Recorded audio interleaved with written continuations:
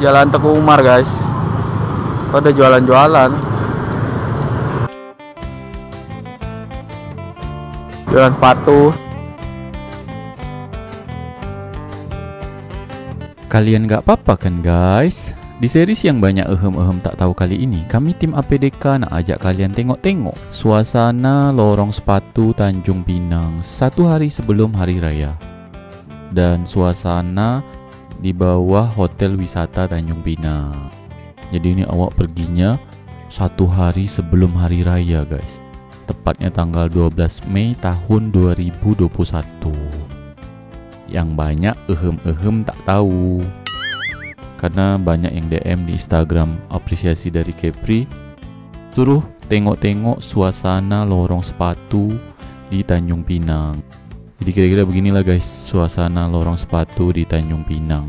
Ketika sudah tahun 2021. Karena di sini banyak toko-toko yang dah tutup guys. Jadi agak gelap sih ya.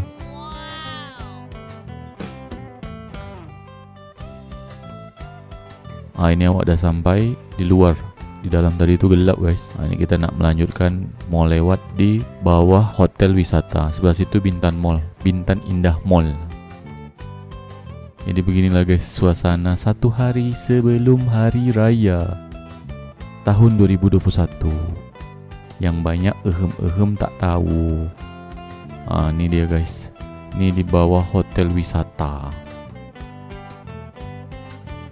Karena banyak nih yang komen suruh lewat di sini. Awak bukan tak mau pergi. Awak ni kadang ada motor, kadang tak ada motor. Jadi alhamdulillah hari ini awak menyempatkan dirilah untuk pergi tengok-tengok di bawah hotel wisata ni. Hotel wisata Tanjung Pinang. Banyak yang jualan-jualan juga sini. Satu hari mau hari raya. Jadi beginilah guys suasananya. Ini sebenarnya awak disuruh mama awak beli kelapa parut. Tapi ada waktu sedikit ni ah. Jadi kita tengok-tengok sekejap lah bikin konten. Kalau kalian tanya malam takbiran Tanjung Pinang, malam takbiran Tanjung Pinang tak ada guys. Malam takbiran Tanjung Pinang awak di rumah. Motor mama awak ada, cuman kamera Kak Melisa dipakai dia malam hari raya tu. Jadi awak langsung balikkan lah ni kamera Kak Melisa. Ha, ini kita dah sampai di simpang yang Tengku Umar tadi guys, Jalan Tengku Umar. Oh, ni dia guys suasananya agak sepi sih karena besok orang dah nak hari raya nih guys ah, di sebelah ini nih guys awak terjumpa bapak-bapak jual sampul ampau dia awak beli lah Buat besok nih. Ya, 5 10 bang, kasih aja bang. Biasanya 4 10 tuh. Masuk TV saya nih ya. Yoi. Ah. Ini lah bang, 5 10. Inilah Marvel. Eh, DC DC DC. Campur aja ya. Berapa tuh? 5 10. Jadi? 5 bungkus 10 ribu. Oh, Ah. Saya baik hati nih, biasanya 4 10. iya toh. Nih. Kalau nggak saya habisin, capek saya ngisinya nanti kan. Kita karena mungkin kalian mungkin tak puas lihatnya kan nah, ini awak tunjukkan lagi lah suasana di jalan Tengku Umar Tanjung Pinang satu hari sebelum hari raya jadi beginilah guys suasana Tanjung Pinang ini Jalan Merdeka eh Jalan Merdeka Tanjung Pinang ketika satu hari sebelum hari raya banyak orang jualan-jualan horden guys di tepi jalan tuh kan jual hordenan sama ini juga ada nih oh nih jual taplak meja jual horden juga sih Nah, ini kan Jalan Tengku Umar. Nah, kalau yang ini abang-abang ini jual sepatu di Jalan Tengku Umar.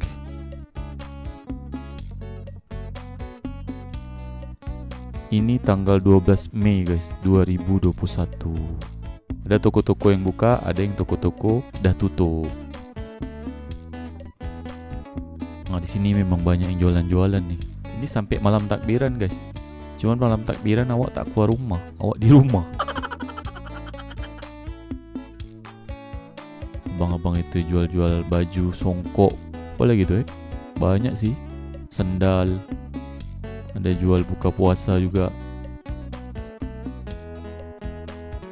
ini sekarang awak nak coba lewat tanjakan Sunario guys. Karena awak dah lama tak lewat tanjakan Sunario. Kalau kalian mau tahu kayak mana suasana tanjakan Sunario kayak inilah.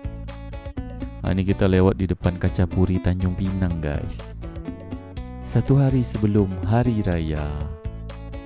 Assalamualaikum Anak cucu numpang tengok-tengok. Karena mama awak ni dah telpon-telpon Dia suruh balik cepat. Karena dia tadi suruh awak beli kelapa parut. Jadi awak pun harus cepat-cepat pulang ni guys.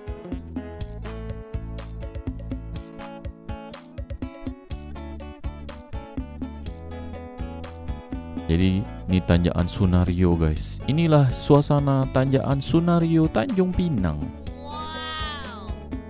Satu hari sebelum hari raya.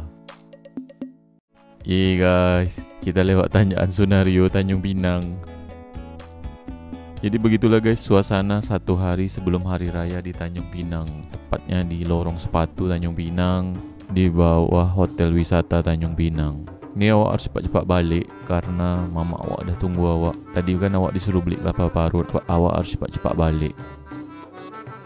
Mungkin videonya segini aja guys. Videonya tak banyak. Puasa tahun 2021 ni kayaknya yang paling mendominasi video tu Video dari Bang Irul sih Bang Irul dari Tanjung Batu Kayaknya dia mendominasi sekali kayaknya Di bulan puasa tahun ini InsyaAllah tahun depan panjang umur kita buat Tanjung Pinang yang mendominasi video puasa di Tanjung Pinang yang mendominasi di apresiasi dari Kepri. Makasih buat kalian yang sudah nonton.